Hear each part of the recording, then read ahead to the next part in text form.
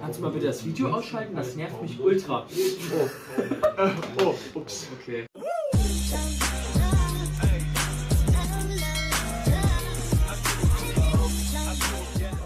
Hey Flo, Hey Colin.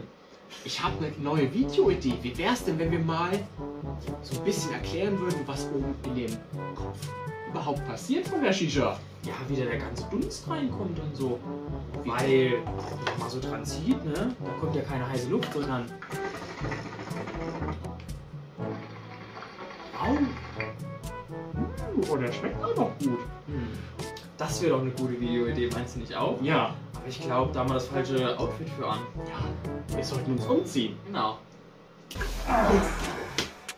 So, jetzt haben wir doch das richtige Outfit, oder? Oh ja, Ah, ist das warm.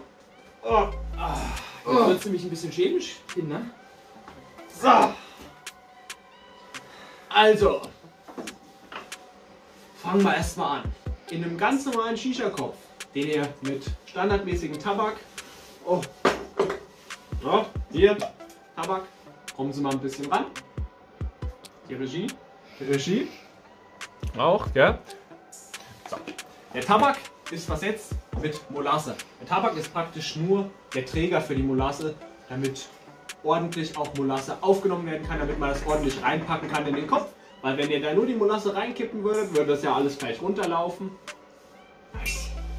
Alles gleich runterlaufen und das wäre nicht so toll. Die Molasse besteht aus Glycerin und Isopropanol hauptsächlich und dem werden dann Aromen zugesetzt. Zum Beispiel in dem Fall von unserem Nameless, dem Black Nana, ist es Traube, eine süße schwarze Traube, nur Aromen, die hinzugesetzt wurden und zum Beispiel noch ein bisschen Minze. Ist aber gerade in Deutschland relativ schwer, jetzt noch Minztabak zu bekommen. Aufgrund von TPD-Gesetz, welches Mitte, Anfang letzten Jahres, also 2020, Deutschland gemacht wurde. Dadurch ist es schwierig, jetzt reine Minz-Tabak zu bekommen. Natürlich, es gibt jetzt mittlerweile schon Satzprodukte, wie zum Beispiel der Eisbooster von Holster. Der ist jetzt trotzdem noch extrem minzig. Die haben da jetzt irgendwelche Umwege gefunden, um jetzt den Tabak minzig zu bekommen. Und natürlich hast du den normalen Tabak auch eine leichte Minznote, aber dieses reine Menthol und Minze gibt es jetzt nicht mehr. Zumindest hier in Deutschland. So. Und was auch eigentlich bei der Shisha komplett falsch ist, wenn ihr sagt, ich rauche Shisha. Weil, was da rauskommt, wenn wir ziehen, ist gar kein Rauch, sondern das ist nämlich Dampf. Das ist nämlich die Molasse, die verdampft, um genauer zu sein, verschwefelt wird. Ne? Das Glycerin zu Glycerol und das ist dann das, was er durchzieht. Also an sich ist Shisha schon schädlich, das kann ich jetzt nicht leugnen. Aber ihr habt zum Beispiel nicht diese ganzen Teerstoffe bei dem Tabak, weil der Tabak ist nur der Geschmacksträger. Der Tabak wird in dem Sinne nicht verbrannt.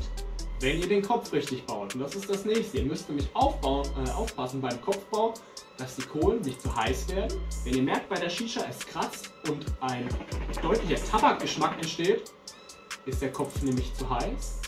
Und dann kann es natürlich passieren, dass ihr zusätzlich zu den, sag ich mal, krebserregenden Stoffen, die wir jetzt, sag ich mal, verdampfen, was ich, wie gesagt, nicht leugnen kann, dass ihr dann zusätzlich noch die ganzen schädlichen Stoffe vom Tabak habt, genau wie Teer und sowas. Deswegen passt da einfach ein bisschen auf.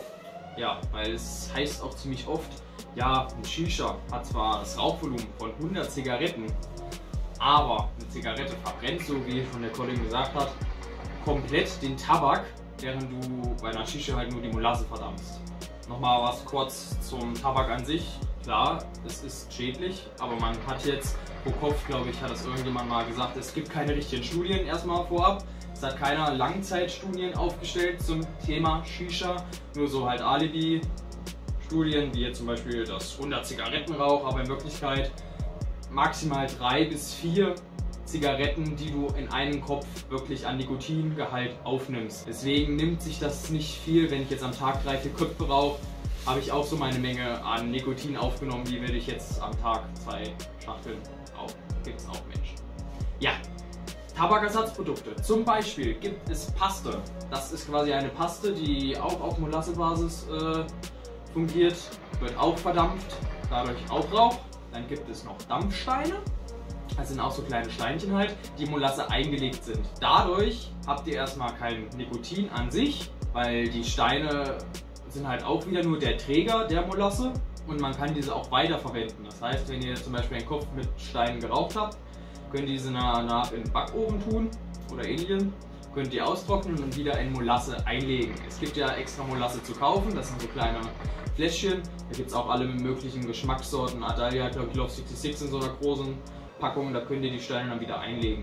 Dann gibt es noch Früchte, teilweise die eingelegt sind in Molasse als Träger. Und dann gibt es sogar, meine ich, auch was direkt aus Fasern von den Früchten ist. Tabak, also Tabakersatz, der auch in Molasse eingelegt ist und wieder nur der Träger der Molasse ist. Und gerade bei so Ersatzprodukten wie zum Beispiel Stein habt ihr noch einen kleinen Vorteil. Und zwar kann euch das nicht passieren, dass euch der Tabak verbrennt in der Shisha. Die Steine sind relativ hitzebeständig. Das Einzige, was ist, natürlich, dass ihr viel schneller die Molasse verdampft.